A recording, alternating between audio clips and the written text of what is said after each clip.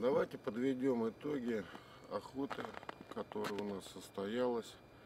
Э, кабан был добыт. Для этого нам пришлось трижды выезжать. Но это ничего, это хорошо, это интересно. Был добыт очень неплохой э, сигалеток. Вот. Э, могу отдельную историю рассказать о маме, об этой свинье, но я думаю, это сейчас ни к чему. Вернемся к основной теме нашего сюжета – охотничьи ножи, их конструкции и применение на зверовой охоте в режиме охотника-одиночки. В этой охоте тестировались два ножа, изготовленные в мастерской Алексея Бессонова. Это э, нож Бобр и нож Медведь.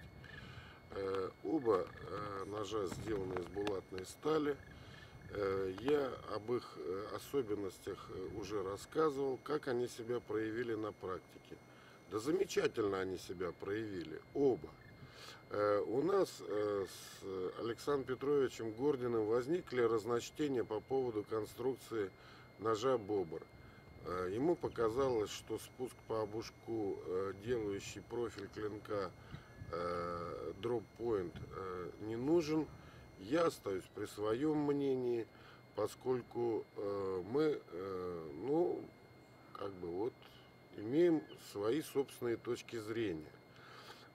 Обоснование его точки зрения очень простое – Э, шкура кабана, э, ну, так скажем, продукт охоты малоценный. И поэтому можно работать быстро и не очень, э, как говорится, аккуратно. Я исхожу из того, что дроп point позволяет и конструкция ножа бубр позволяет снимать шкуру более аккуратно, с меньшими потерями, порезами и так далее.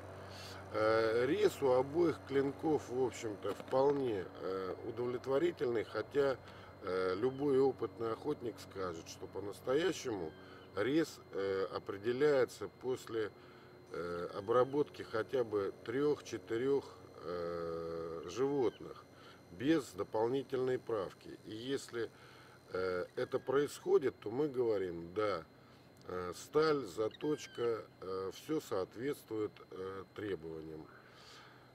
Такой возможности у нас не было, поскольку сезон уже заканчивается, и добыть такое количество животных и, соответственно, провести полные испытания по длительности сохранения режущих свойств, удовлетворительных режущих свойств режущей кромки мы не можем.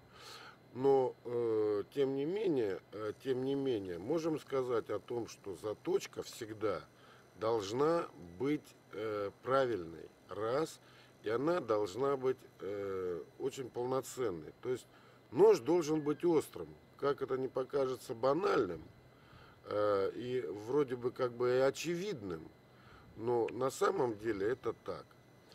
Э, в заключение хочу сказать, что оба ножа проявили себя достойно. Честно сказать, мне они понравились. Вот. Они неприхотливы, они функциональны, они хорошо лежат в руке, они хорошо работают. Спасибо всем, кто меня слушал. До свидания.